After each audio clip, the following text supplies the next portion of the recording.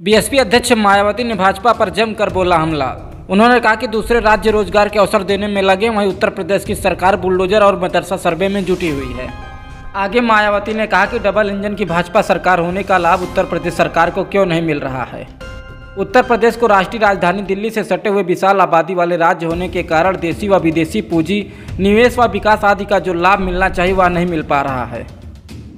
Baspa supremo Mayawati ने कहा है कि ऐसे समय में जब रोज़गार के अवसर को बढ़ाने, बेरोजगारी को कम करने और आत्महत्या दर को कम करने के लिए राज्य सरकारों को भी ज़बरदस्त प्रतिस्पर्धा चल रही है तो वहीं यूपी सरकार, बुलडोजर, मदरसा, सर्वे और मंदिर मस्जिद जैसे मुद्दों में लगी हुई है।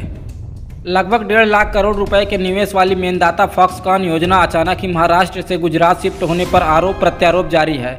ऐसे में दो और फैक्ट्री लगाने का दिलासा देकर मामले को शांत करने का प्रयास हो रहा है। यह बड़ी चिंता की स्थिति है। पहले कांग्रेस केंद्र सरकार में यूपी की घोर उपेक्षा की गई, अब भाजपा सरकार में वैसा ही कार्य हो रहा है। सरकार को चाहिए कि वह दलितों, अति पिछड़ों के साथ साथ मुस्लिमों के उत्पीड़न, उनके मदरसों तथा अन्य और भी धार्मिक मामलों में हस्तक्षेप आदि के गैर ज़रूरी विवादों में न पड़े, बल्कि यह अमन चैन के जीवन के लिए पूरा ध्यान कानून के सरकारी राज्य पर लगाएँ।